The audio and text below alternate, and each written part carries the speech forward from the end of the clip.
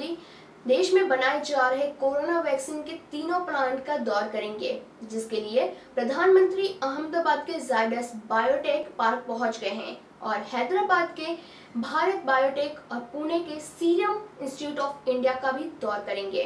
Corona महामारी संकट के बीच आज प्रधानमंत्री नरेंद्र मोदी देश में कोरोना वैक्सीन की तैयारियों का जायजा लेने पहुँचे हैं। इसके तहत आज सबसे पहले मोदी अहमदाबाद पहुँचे, जहाँ वो जायडस बायोटेक पार्क पहुँचे।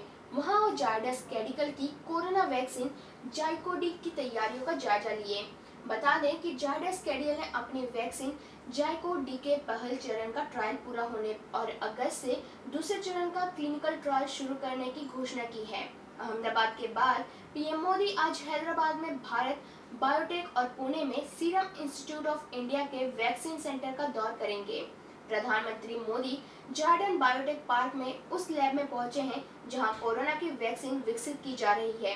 यहाँ उन्होंने वैज्ञानिकों और शोधकर्ताओं से बातचीत भी की। इसके पहले प्रधानमंत्री नरेंद्र मोदी अहमदाबाद पहुँचे और यहाँ से वो सीधे जायडस बायोटेक पार्क पहुँचे। प्रधानमंत्री मोदी आज देश में कोरोना वैक्सीन तैयार कर रही तीन केंद्रों का दौर कर रहे हैं। प्रधानमंत्री आज इसके तहत पुणे, अहमदाबाद और हैदराबाद का दौर करेंगे।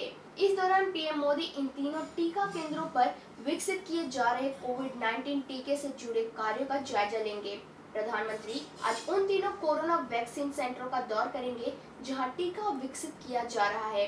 वो यहाँ वैज्ञानिकों के साथ मिलकर कोरोना वैक्सीन विकसित करने के रास्ते में आ रही दिक्कतों की भी समीक्षा करेंगे।